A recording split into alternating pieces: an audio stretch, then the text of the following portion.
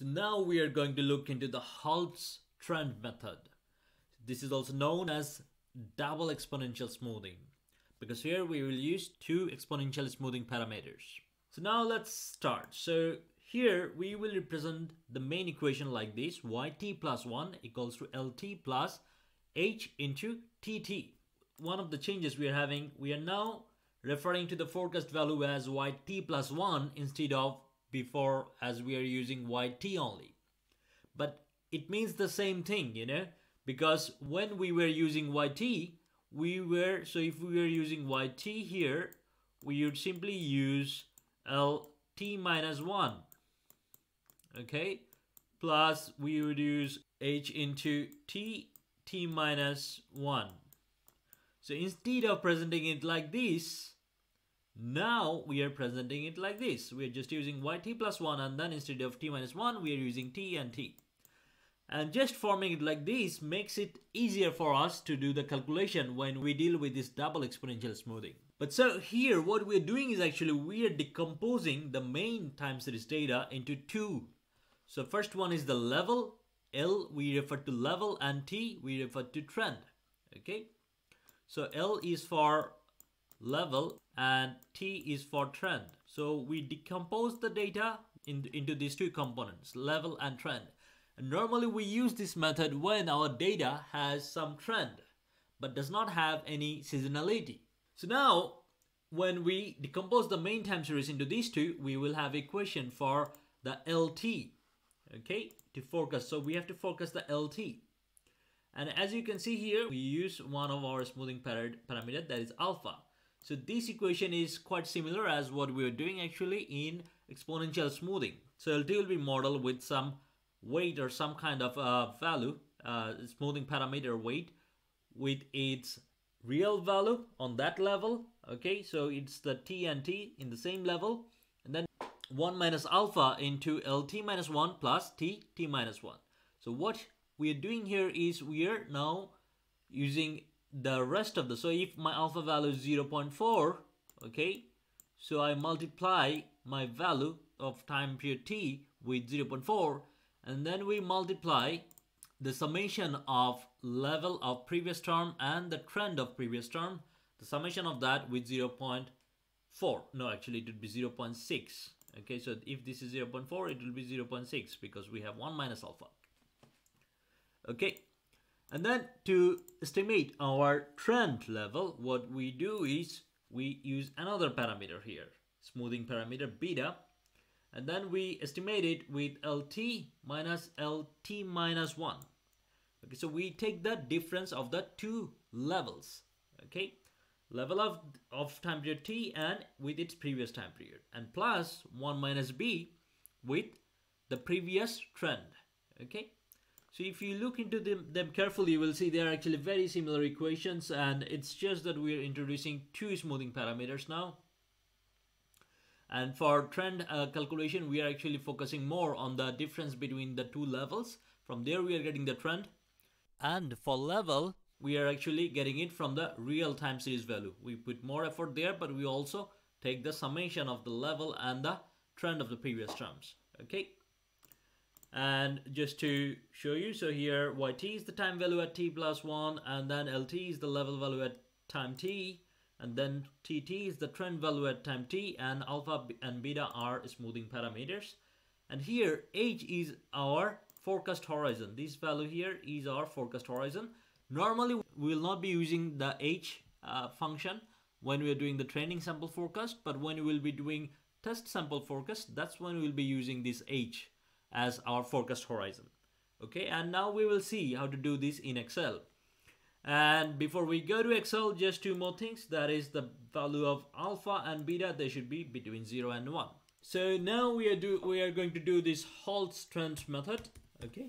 Yeah, I'm just calling it Holt's. I'm going to move the halt up and then use these three columns for Holt's method and I'm going to give it a color. Okay and we will need two parameters. So for alpha and beta I'm going to have two values here okay? So here we will need LT this is for our level forecast. Then we will need TT for our trend forecast. And then we will have Y t plus 1 which is actually our main forecast okay? Using the Holt method. So that's how we will proceed okay and for the parameter of LT the alpha parameter here I will use this cell. And for beta parameter for the trend I will use this cell. Okay. And I'm just putting some values here just to start off. So let's say I'm going to put 0.7 here and 0.6 here. Okay. So now just to start off we, we have to start from somewhere right so just to start off what we will do is we will set the value of this L2 to same as Y2 okay?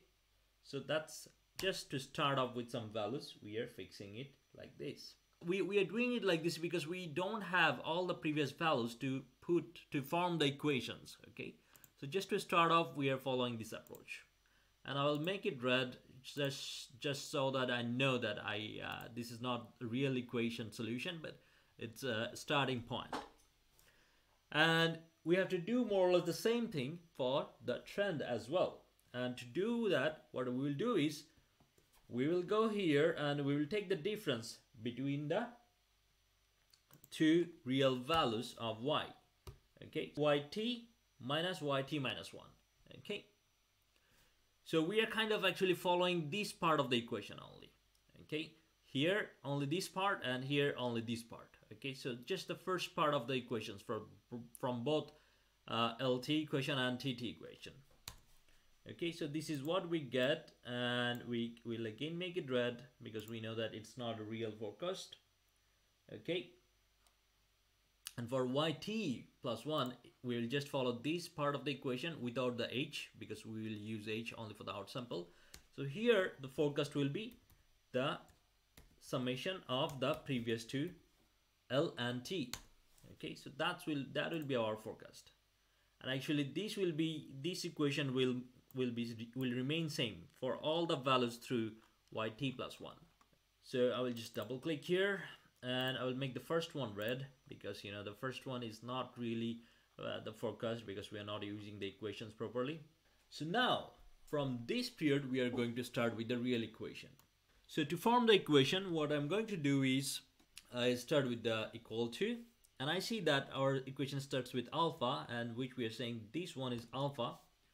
Then we fix it using F4 then we multiply it with yt so our yt is here okay?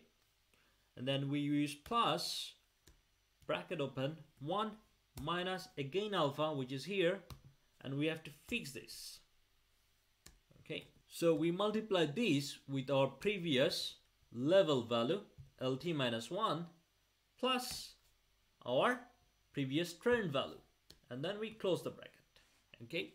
So that's our equation formation. We are now exactly following this equation as we mentioned here. And then if we just double click all the equations will be there and we will use up to two or three decimal points. So now we have to do the same and put the equation for the trend part. So to do that we will again start with the function and here is our beta value. So we select the beta. We have to fix the beta because we'll be using the same beta cell for all the values in the column and then we multiply this with the difference between our LT and T minus 1. So our LT is this one and our LT minus 1 is this one. Okay, and we close it and then we start with the plus and then bracket 1 minus beta. Beta is here again and we fix it. Okay, with F4 or it could be different command in a command in your computer. And if you don't know the command you can just put the two dollar symbols okay? And then we close it and multiply this with t minus 1 which is just the previous trend value okay? And then enter. So this is our value for the trend 2 and if we just double click here all the values are in place. And I'm going to just keep up to two decimal points or three. Okay. So now we have all the values and and these were added up. So we have all our forecast ready you know. And yeah as you see it's not really that complex. But now we have a bit tricky part when it comes to the outsample forecast, like here. So this point, when we are trying to do this level here for July, so you see that to forecast this July value here, this is the main forecast, we didn't really use any of the July values. We were using June values. So that was okay. We could do up to this point, right? When we are here, then we, we start to use these level values. And these level values depend on this value, okay? The, the real data of this value. And theoretically, we are not, or practically, we are not going to have this value if, if we are really doing our sample forecast. So we have to come up with a way so that we can forecast the outsample periods without using any of this information. Okay, any of the real values of the outsample period. Because in, in, in practice, we are not going to have them if we are doing dynamic forecasts, right? So we cannot be we cannot really use these values. So what I'm going to do is I'm going to first delete them. Okay, so I don't have them. So I have the this one is my latest one, which is based on previous values. So that's okay. And then if I consider these ones as my forecast outsample forecast period, I will put the H, the horizon, one, two, three, four, five, and 6. So I have a 6 forecast horizon and I'm going to use a light color here so that we do not see them properly. Okay. And then what I'm going to do is, so this part is fine, right? And for this part here, so now for forecast, what I'm going to do is actually, I'm just going to put my LT and I'm going to fix it. And then plus I'm going to select my forecast horizon that is the H part of the equation. And then I'm going to multiply it with my trend component okay?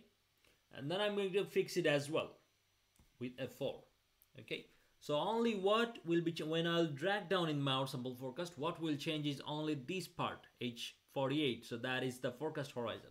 It will be all, always multiplied with my trend uh, with my trend value okay? And then I'm going to drag it. So here it is. So now I have some forecast values and that's how actually we can do the outsample forecast using the Holt's trend method.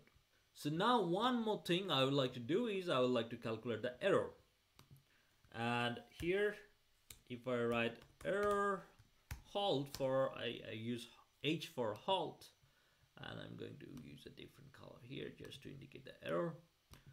So I'm going to do again the MAP calculation following the equation as you can see here. Okay, so what we are going to do is we start and then absolute.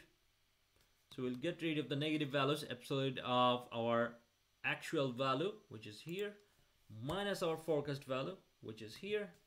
Okay, and then I divide this with AT, the actual value, so which is here, and then I'm going to get the percentage of error, okay? And then I'm going to just double click, and then to make it look nicer, I'll just take only three decimal points, and I will move it here. Awesome, so now we have all the errors calculated, right? And I will actually just, to, to take a shortcut, I'll just drag it, the MAP calculations. And I'll remove this part okay? So here you see I, I kept the naive forecast one so that we can compare with the naive forecast. So here you see we just took the average of all these points that are available okay? So we take the average of that and we multiply it with 100 to get the percentage. And also for this period yeah I should just uh, reduce one yeah and then it looks fine and this is fine so you see this method also does not work better than the naive forecast model. If you remember in the earlier videos, we said that, you know, for the validation of the forecast model, we have to compare our forecast model with some of the most common uh, used approaches. And the very basic one is that the naive forecast and our model should perform better than naive forecast. But one more thing, again, we can quickly try to optimize our parameters to get to minimize our error rates. And to do that I'm going to solver actually it's better to reset. So I'm in my solver I reset all these things and then I'm going to select the cell overall MAP minimize this. I'm going to say minimize. And by changing cells this one and this one. Okay and then solve. The model converged the solution and constraints were satisfied and okay. So overall it was it reduced a little bit from what we had before. And this one is actually the, the training sample is much better now. Not not much better like a little bit better than our naive forecast but our test sample actually sucks but anyway so that's how we can actually do the Holt's trend method. But now we will go to Holt Winter method. So when we have season and trend both in our data set how can we model that